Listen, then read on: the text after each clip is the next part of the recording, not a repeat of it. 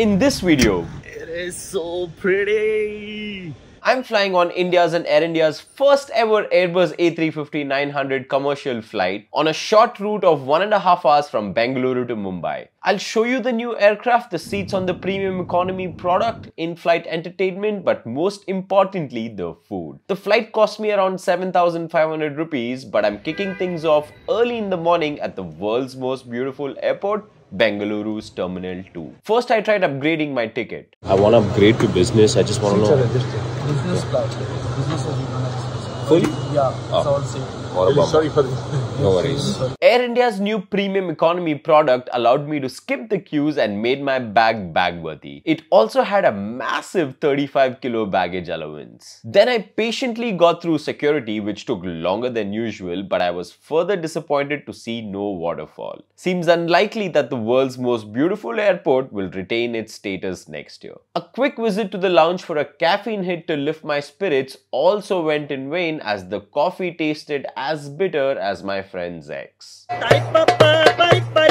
On my way to the boarding gate, a subscriber stopped by to say hi. I want to say I'm really grateful for all your love and support. Big thank you to all of you. Finally, it was time for me to see the brand new metallic bird. It is so pretty. At the boarding gate, a huge crowd cheered the flight and its captain. I'm sure he felt like Hitman Row. I'm in the aero bridge, but I'm feeling like a five year old. The excitement is through the roof. Can't wait to board this aircraft.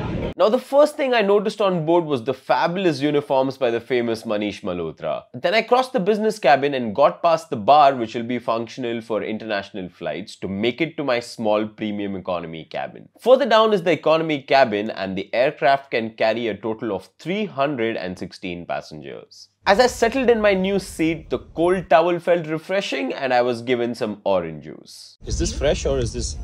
This is fresh. Which it wasn't, it was canned juice for sure. Before takeoff, I was given a total of three breakfast options. I'll have the omelette, and uh, I always shamelessly ask if there are any leftovers of the veg. I would like to try that as well. I yeah, no problem. Perfect. Awesome. So in veg we have pongal and the masala moong dal. Oh, pongal for sure. I'm a huge uh, pongal fan. We took off immediately and it was time for breakfast. It was well plated and it was nice to have metal cutlery. The fruits were fresh, the croissant was yum, but the spinach stuffed omelette Egg will not be eggy this time.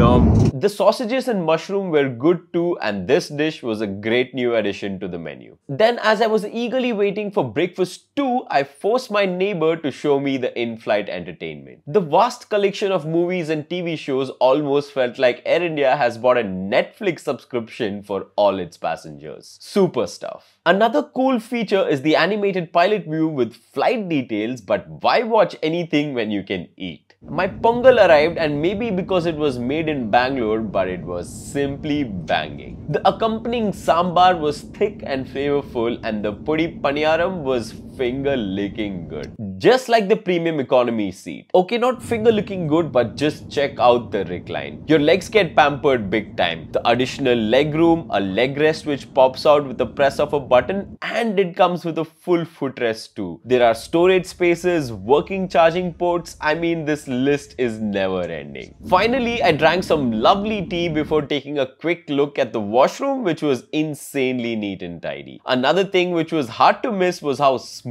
the flying felt. A little later, we approached Mumbai, and here is the first landing of the new A350.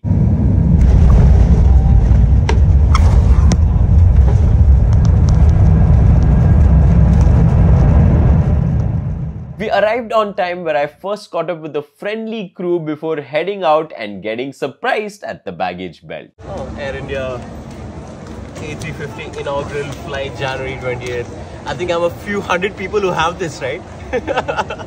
Damn cool. Thank you so much. yeah. Thank you so much. That's pretty cool. Yeah.